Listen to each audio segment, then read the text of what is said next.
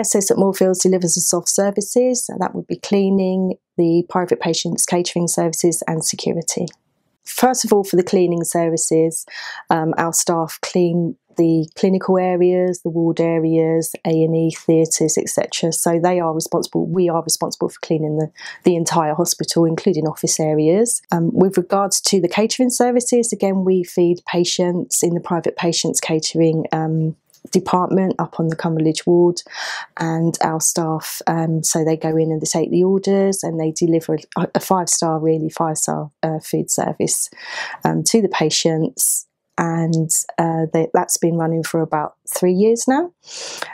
With regards to the security services, obviously we're here to keep the hospital safe. We've got two security guards on each shift. Really great team. Um, really work and as with all of our departments, we work really closely with the trust and you know make sure that we work as a team and we do really feel part of the trust and you know that we are part of the team here.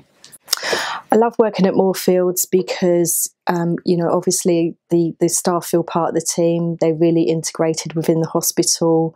Um, we also are part of the stars nominations the awards and our staff do get recognised a lot. We get a lot of compliments about our staff from patients visitors staff which is really rewarding to them.